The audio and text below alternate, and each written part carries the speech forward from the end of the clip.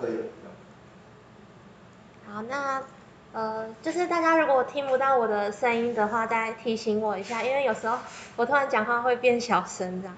然后在开始之前，先跟大家说，就是不好意思，因为这个就是那个书上的程式嘛，不太能用 GCP 去跑，就不知道为什么它在跑某一段的时候会让你的 GCP 当掉，所以就只能用 Colab 去跑。那我有把档案放在那个云端上，那。这里就是它的六点三这个部分是要讲，呃，就是呢，呃，把 RNN 来就是做一个范例。那这个范例主要是它有有一个是呃二零零九到二零一六的档案，那里面是记录呃每一天的气温，然后每呃每一个 row 是以十分钟为单位这样。然后我们可以先看它的那个档案，那它前面就是我先。读，我这样大家看得到吗？这样，呃，就一开始它是先把那个套件读进来，那前面是比较基本，就先把答案读进来，然后我们发现它有那个四二零五五一个 row，然后十五个 column，那里面主要的是记录它的时间，就刚刚说是以十分钟为一个单位，那其他十四个就是一些比较。是跟气象有关的东西，然后一个就有有一些是那个气温，这样。那他首先会先把每个月的温度跟每天就跟只取前十天来看，就这两张图的。哦，好。稍微稍微讲一下，你这样讲的话，同学。哦。好，所以刚刚雅茹说的六点二是跟大家讲什么叫 RNN。那六点三，他想要把 RNN 的应用跟大家做解释，一样。他基本上讲了两个不一样的应用，第一个是用 RNN 是预测气温，预测气温嘛，因为气温是一个 sequence，对不对？然后呃，所以这是预测气温。那另外他还是做用了 IMDB 来做，使用了 RNN 做语言，这样。所以六点三是非常非常巨大的一个一个章节，这样子哈。那六点三这些例子，你如果在一个 GPU 的机器跑，你从头跑到尾大概要跑十七八个小时，我上次试过一次。即使你用 GPU，所以你要光是把这个例子跑一遍，它就，这是为什么现在 LSM 被淘汰的最重要的原因之一，因为它实在太慢了，这样，没有人受得了这样。OK 哈，那呃，所以假假如现在这边讲的话，我们就。可能没有办法，就是一个一个 demo 是让你没有，但是我们要看看说 RNN 可以做一些什么样的应用，因为 RNN 的应用，到我们真的用现在的技术去做 RNN 这件事的时候，那些应用还是都在，啊，然后它的应用是上比较，好吧？哦，好，然后回回头来讲，第一个例子就是，其实是这个，呃，哇，怎么会？哎，你你先不要，你先不要转。哦，好。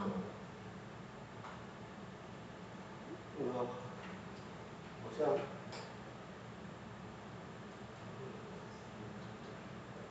我想要，我想要去看那个 Windows，哎呀，在这里好。那这个就是那个资料，这样。它这个资料总共有四十二万笔。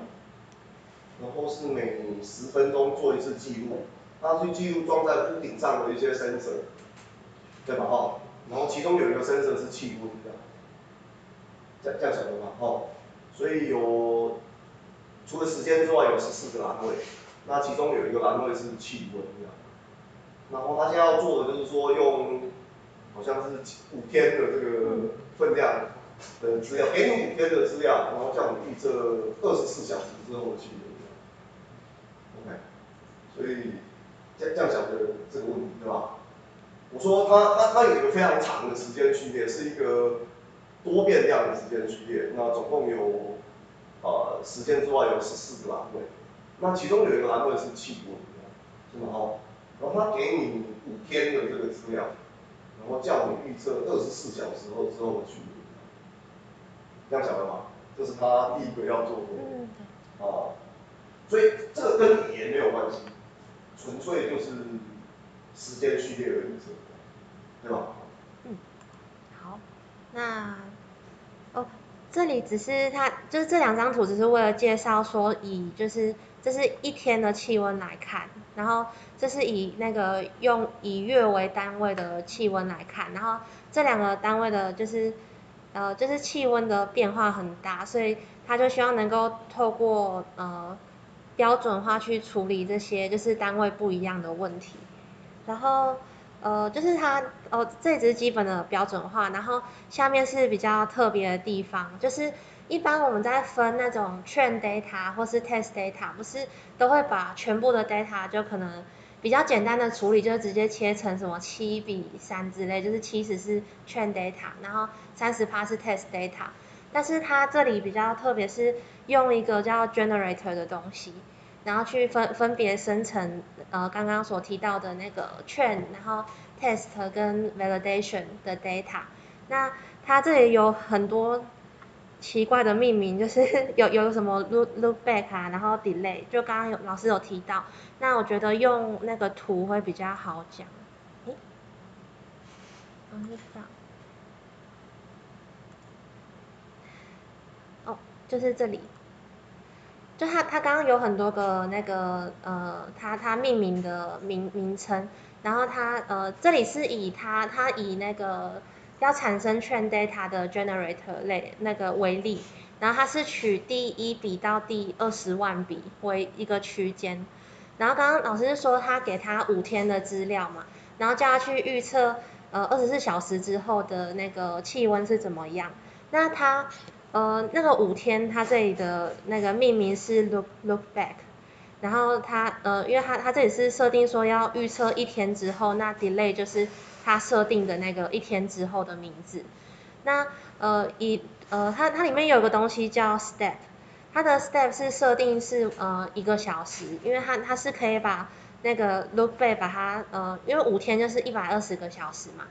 然后它的 step 是一个小时，所以它可以用 step 把那个 look back 切成一百二十，然后乘以一个，呃，乘以一这这个，呃，就这这一百二十个区段，然后最后呃产生出一个 sample output。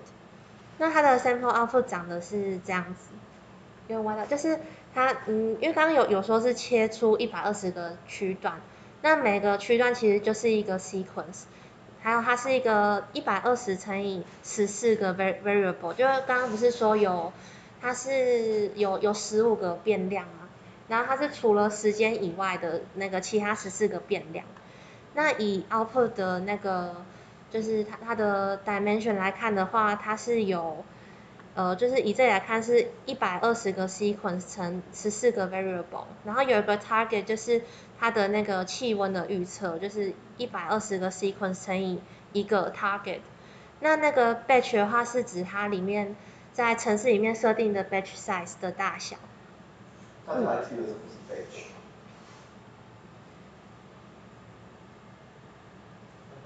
解释一下，解释一下。你刚不是点头吗？对。就一次放进去的那个，呃，应该说是一次放进去一整批的那个训练资料，对不对？对。呀，就是我们说模型嘛，那其实就是要要找到一些系数，对不对？要找到一个一组最佳的系数，使得误差最小，对吧？哦，然后你会你喂资料到神经网络模型，不是一次喂，因为这样太慢。所以你一百二十八的 base size 的意思是说我一次喂一百二十八资料进去，一次喂给 GPU，然后要 GPU 去算，就是这样的意思，对。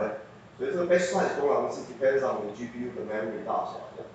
你买那个很 powerful 的 GPU，那你就可以把 base size 设大一点，因为能上这样的话，它就能够一次读比较多的的资讯过去，对吧？哦，所以 batch 是这个意思哦，不要忘记，对吧？哦。神经网络做训练，它不是一笔一笔资料看，它是一个一个 batch 看，一个 batch 就是若干笔资料，因为它都是用矩阵运算的，对不对？好，所以可能就是那个最小的啊一次喂资料的大作就叫 batch。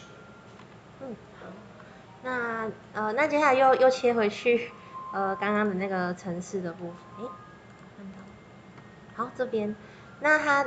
呃，刚刚的那个 generator 的呃程式，它是写在这里，那我们就不用细看这个地方，因为它它后面就是它会直接抠这个 function，然后呃就是像券的话，就刚刚有说过是从一到二十万嘛，然后它他说呃它这里 shuffle 等于 true，就是它可以呃随机去就是换各个序呃就是它它不是按照顺序的，它可能会对调它的顺序，然后哦 batch size 就是刚刚老师讲的那个 batch。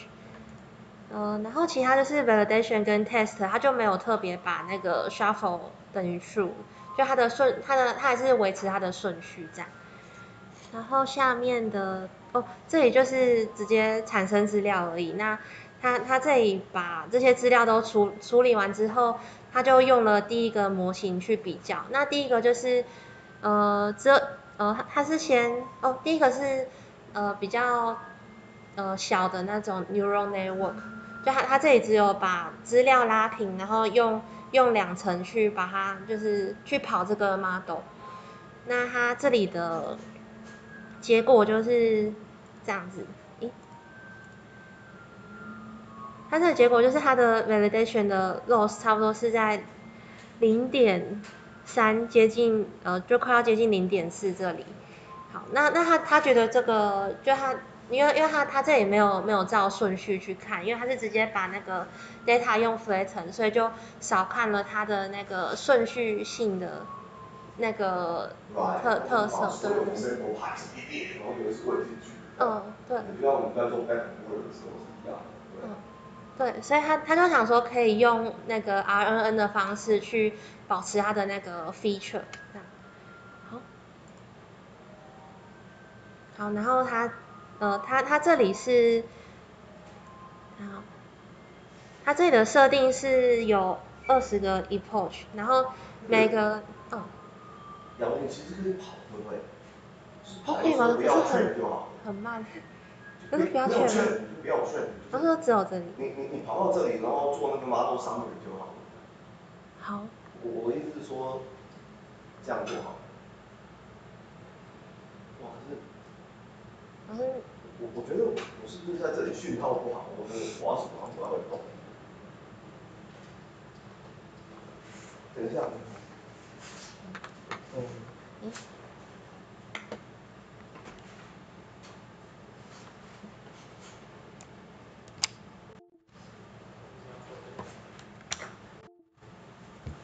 换位置看看。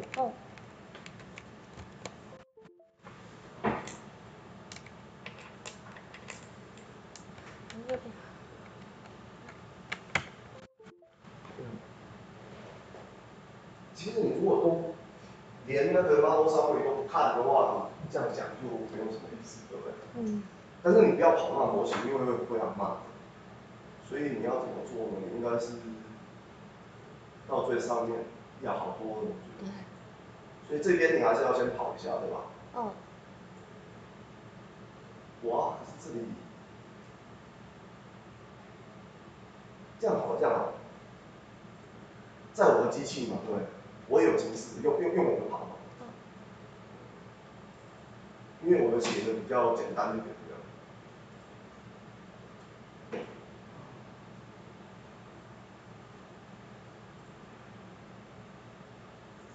哇，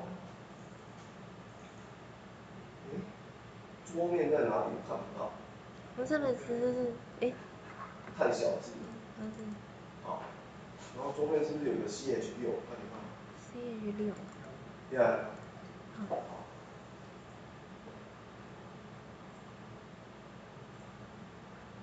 好，我我用我的 PC 跑，然后它 code 其实是一样的哈。嗯，一开始就是要。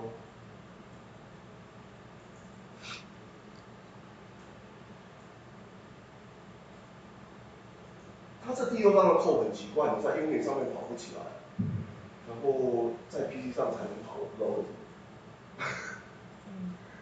那这个是他准备资料的部分，对不对？哈，刚刚姚已经讲过了，所以我们一路跑到这个。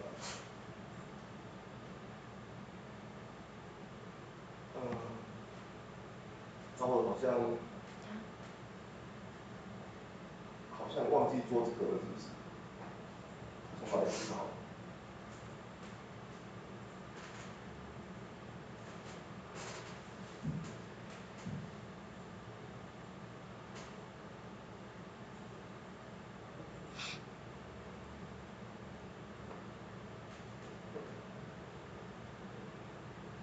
所以这边是准备资料。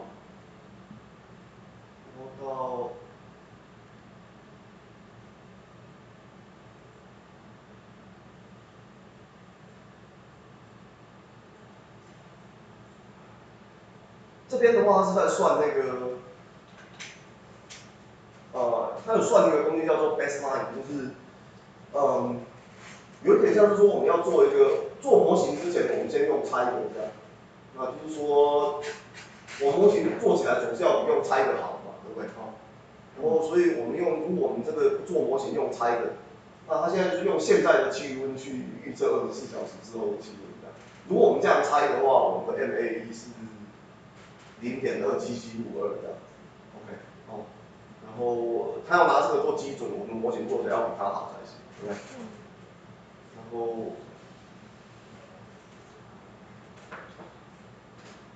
然后这是我们的第一个模型，对吧？是吗？哦，对。然後。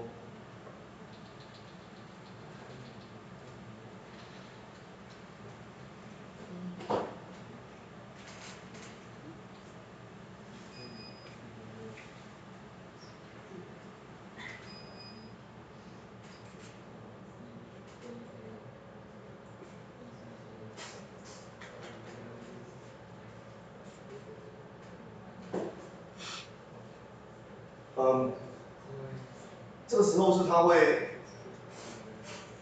你，你你呼叫了 Keras 之后啊，那你第一次去做模型，它就会跑一阵子，基本上它是在连你的 GPU，对不对？啊，所以这是我们的第一个，就是我们刚刚讲那个 Flatten 的模型，看到了吗？对吗？哈，他把资料整个扯平，然后就直接丢一个网路下来 train 这样，所以这是第一个第一个模型，这样。嗯。然后呃，第一个模型，然后第二个模型是。下面那个，对对对，这个对不对？嗯。我们我们就直接做模做 model 上面就好了。好，那中文。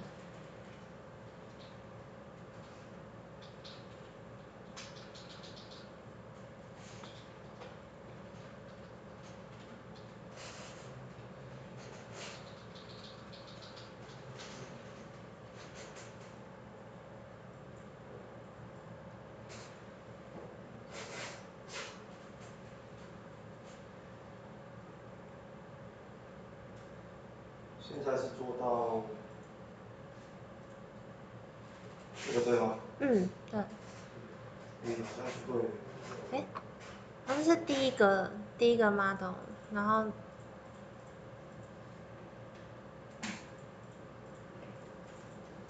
这个是第一个模型。对对对。那我们现在做的是这个模型，对不對？哦。好。所以这个模型是。哦，我们就把它塞到一个 GRU 里面去 train，对不对？嗯。对。然后，哦，呃，就是第二个模型，大家可以看一下这边，就是刚刚有提到它有一百二十个 sequence，那它都是，呃，就跟老师讲的一样，是塞到同一个 GRU，然后它可能第一次就先那个放 C 第一个 sequence 进去。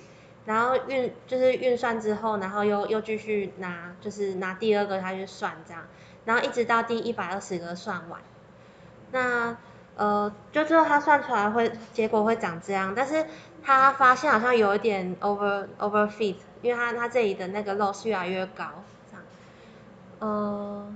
你们看到他很快就 overfit。對。嗯，然后，哦，然后后来那个呃。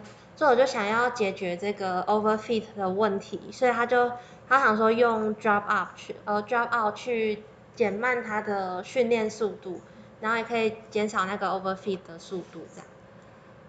然后，老师等一下。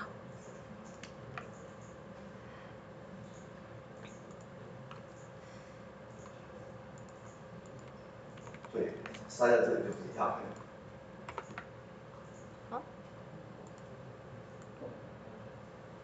好，那那这是他用 drop out 之后那个 model 的长的样子。那么等一下，等一下，这边这边等一下，注注意注意看一下。哦。这里有几件事，我们稍微再想一下。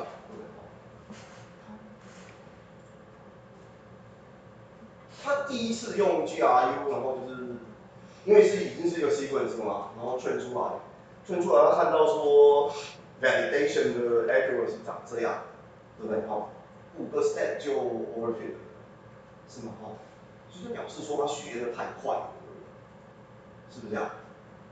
就是我们要他学的慢一点，学的那么快呢，可能有一些细节你都学不到，是不是这样？所以我们会用 drop out 的方式。啊，让他的学习速度变慢，对不对？是吗？哦，所以加了 drop out 之后，结果是变，啊，是上面的，对对对，这样，这样，对不对？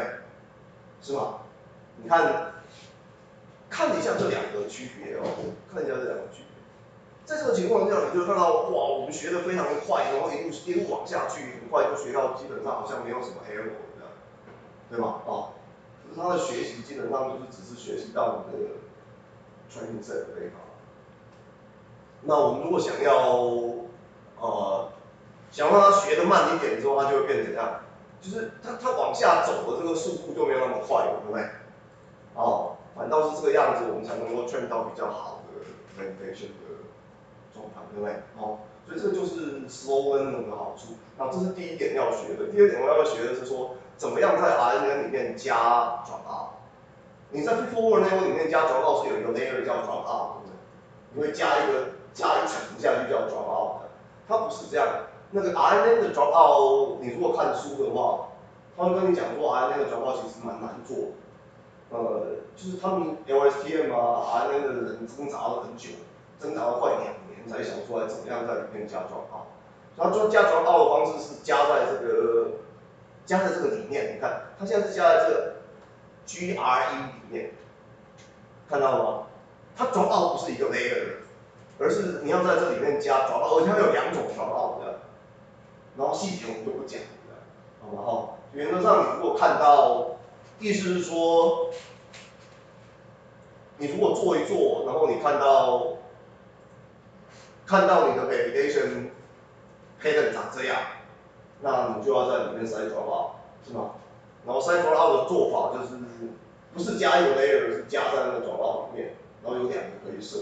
至于设多少，我觉得是用 try。问题是在 RNN 里面 try 这个事情非常的痛苦，因为你每做一次就好几小时，所以你要串到好，不知道串到什么时候的，对吧？哦，好，好嗯，嗯，好，呃，好，那那就是老师刚刚讲他加 drop out 之后，他的 performance 有好一点，然后呃，因为他他这里就看到说他。overfit 的那种现象有少，所以他他觉得如果要继续呃去增强他的 model 的话，就会有两种方式，就是可以去呃继续叠它的 layer 层，然后第二个就是去试试看别的 model。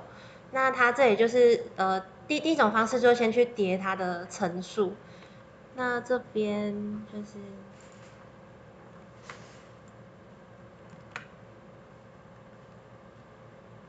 那它它下面就有多叠这这几个，就可能用两两个 G R U 对对对嗯，然后就看一下它的 summary，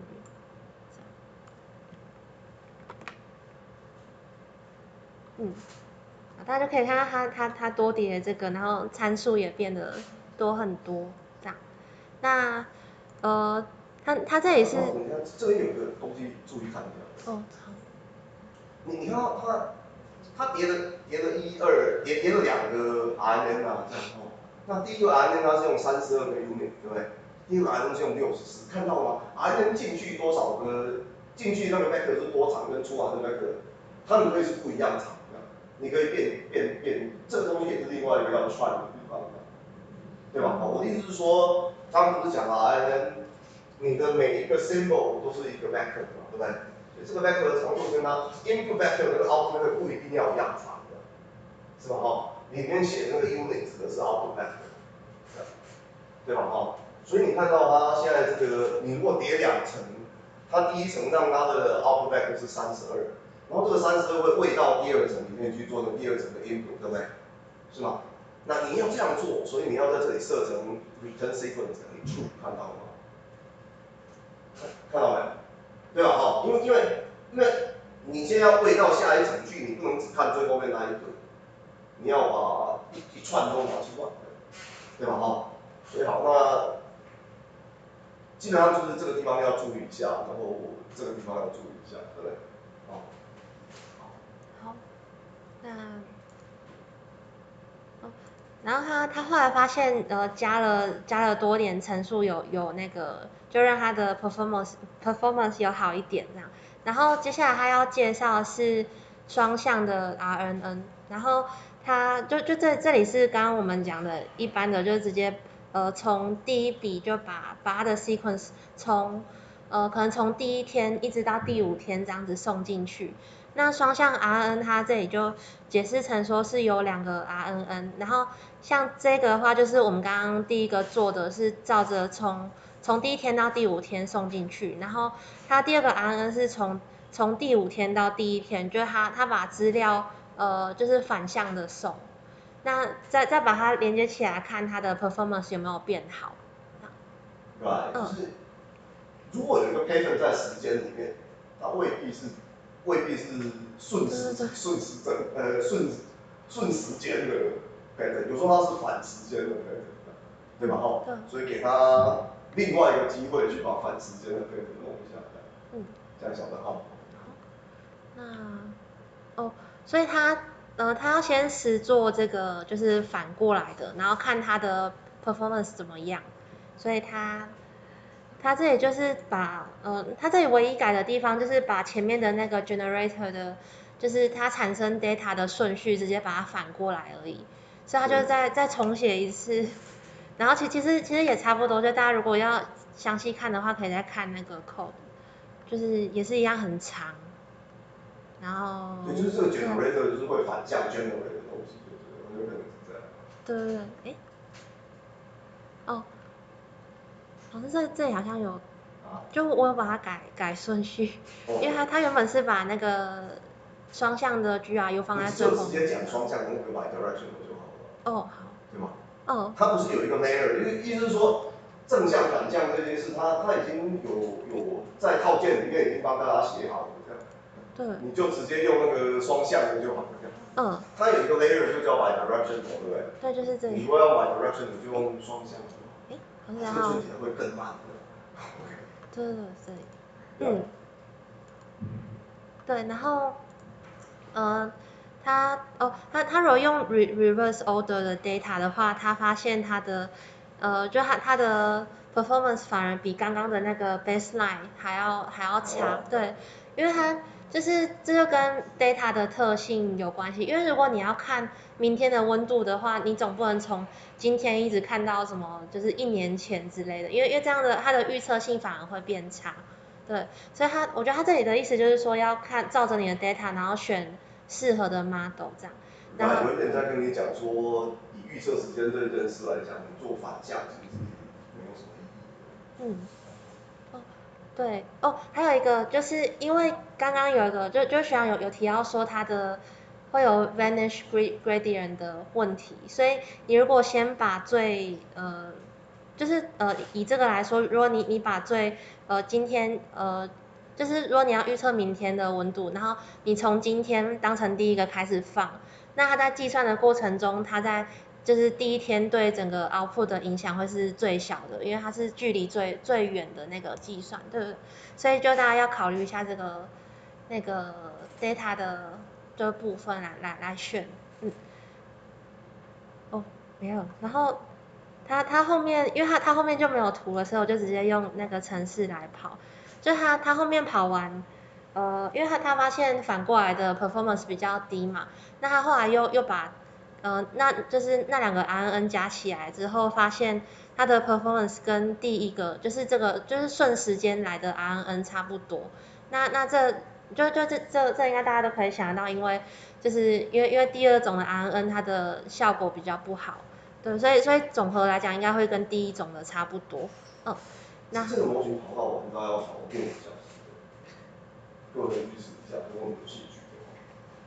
嗯，好，那呃下面它就是它它是用刚刚的那个 IMDB 的 example，然后用 LSTM 来跑，只是它它就跟前面一样是呃就是 LSTM 第一个是用反反向的那个就是用反向的 sequence 去跑，然后接下来再把它们合起来。那它这里跑这个呃 reverse sequence 的时候，它发现它的结果差不多，因为嗯，就它它的里面的那个字的顺序，对那个 model 来说，对文艺的理解没有像那种呃，没有像温度那样子影响那么大，对，所以它嗯，所以这这两种就不管是正向还是反向的结果都差不多，哦，那最后他就用双向的 L L S T M 再做一次，那最后就有发现说它有表现的比较好一点，嗯，那那大概这这个章节就是在讲讲这样。那那看老老师有没有要补充的地方？OK，那我我我觉得你应该要讲的是这这这个章节其实非常长的一个章节。嗯。然后呃，在这章节里面它有。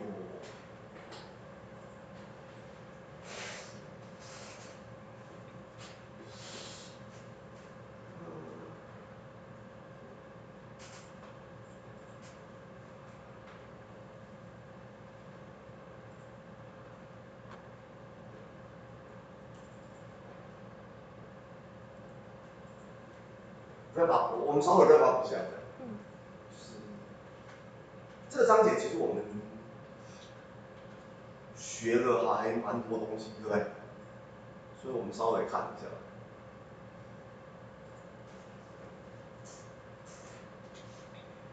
好，所以第第一件事是我们学到什么？意思是说，他第一第一个要讲的是说这个所谓叫 common sense baseline。第一是建模型之前啊，那首先你要想一想说，你如果不建模型，你会怎么猜这样，是吗？这一件事是重要的，所以你模型建完了之后，要比这个 common sense 的这种 best guess 要好才行，对不对？所以在拆气温的时候，我们用现在的气温去拆二十四小时之后，那实际上是一个 best guess，对不对？然后你就发现说。呃，接接下来再开始建模型。他说，try simple model，呃，before the 呃 expensive one，justify the additional expense。Sometimes a simple model will turn out to be your best option。意思是说，不一定要老是找那个很很复杂的模型啊，对不对？好，简单的模型先试一试，这样，对吧？好，然后再来，呃。这边是在讲他喂资料的方式，对不对？好，我们在喂文字嘛，那大概就也不需要 shuffle，也不需要生火反正就是一句一句一句往里面喂的，对吧？啊，可是当你做的是真正这种时间序列的时候，如果你喂给你的 training 是，因为因为到时候你要用这个模型的时候，它未必是从哪一个时间点开始的，就是在呃在你的模型它它那种开始时间可能是连续的，对不对？啊？所以他故意写一个 generator，然后用 random sequence 来喂资料进去他的模型里面，这样。他是在讲说，这个做法在某些时间序列里面是必须要的。听听懂我在讲什么吗？哦，就是因为它是一个时间序列，可是，可是你为了要让这个模型去，我做模型是为了要用，对？啊，当你用这个模型的时候，它未必就是会顺着时间这样。资料进来，对不对？所以你应该让你的模型尽量去跟它的使用情境一样，对吧？哦，那为了要让它达到这一件事，况，就要 shuffle 时间序列里面的 data，而不能够就顺着时间这样一段一段一直喂进去。一段一段喂进去还有另外一个问题，对吧？假设你因为它是五天五天有上路。所以你第一个五天未完，我现在假设是十二点半，第二个五天喂进去还是十二点半，第三个五天喂进去还是十二点半，对吧？事实上，比如你会有另外一个追踪问题，其实你每一个 sample 都是中午十二点半开始，可是事实上你的 testing sample 不一定会这样，对不对？啊，所以他这边讲到说，如果你碰到时间序列，你你想，我说 RNN 是来处理序列，那序列基本上能够分两种，有一种是文字的序列，是不是就文章？那另外一种基本上就是像这种的多变量文字序，呃多变量时间序列这样，对吧？你处理多变量时间序列的时候，你当然要小心一下你喂资料的顺序啊，晓得吗？哦，来第四点，啊，to use dropout with recurrent network，那我刚讲过，呃，首先你要知道什么是 dropout，为什么要 dropout，对不对？你看到什么样子，你要做 dropout，对吧？你看到说你的 validation，你你看到说你的那个呃 training 的那个那那个呃 error 非常快的往下降，是吗？可是你的 validation 是两三个或者四五个 approach 就就往上往上调，这样就代表说你的模型学的太快了，是吗？对不对？所以你要像这个时候你就可以加转化，然后记住一下 RNN 里面加转化的做法跟 f i f o r one 是不一样的，它是加在 layer 里面，而且有两个可以设的，OK，好，然后再来。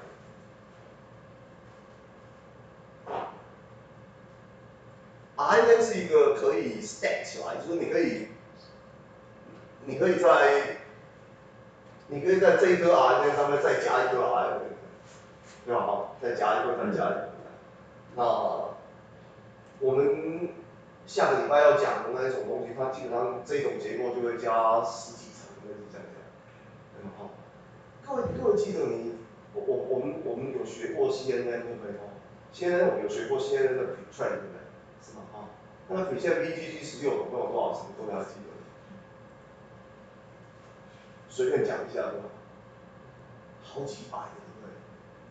是吗？哦，所以说那种真正 train 的很好的那种 pretrain 的的那个 RNN，它也是很多层的。然后你就要记住，你当你当你当你架很多层在一起的时候，当你这个 RN 不是，如果你只有一层，然后你你这个一一个字一个字进去，到了最后就是那个 O 五百出来，然后这 O 五百假设是，啊长度是三十二，那你就做一个 signal 出去就就是了，对不对？是吗？哈，那可是万一要是你不是直接出去，而是上面这边加了，加下面，不是，如果你有两个 RNN 加在一起，这样，是吧？哈，然后这边进去第一个字，然后这边就会第一个 O one 出来，对不对？是吧？对不对？啊，所以意思是说，你这里那个呃 return sequence 就要写成 true，对不对？对吧？哈，所以这样的话它才会。等于你这边进去是一个五百个字的 sequence，到了这边还是一个五百个字的 sequence，这样，对吧？哦，所以呃，直到最后这一层，你再让它，你再取最后那个 sequence，呃，最后那个那个那个 feature 就对，这样，这样晓得吗？哦，所以它的结构是长这样，嗯，再来。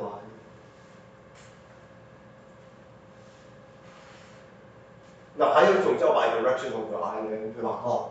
那讲穿的，基本上现在这些东西都写在套件里面，然后你只要你如果真的也要用这个，然后理论上就照着这样做就是，只是它要转很久，好吧？哦，所以这边在这里他学的，他教大家怎么样？用 RNN 去做时间学，怎么样？把 RNN 去做文字处理，然后呃。让你看到一些不一样？的 RNN 的架构，然后呃告诉你一些使用 RNN 需要知道的，这样？想的吧？哦。嗯。好。好。嗯，老师我我我讲完了。OK。那就就分享一下。对吧？嗯。先保护。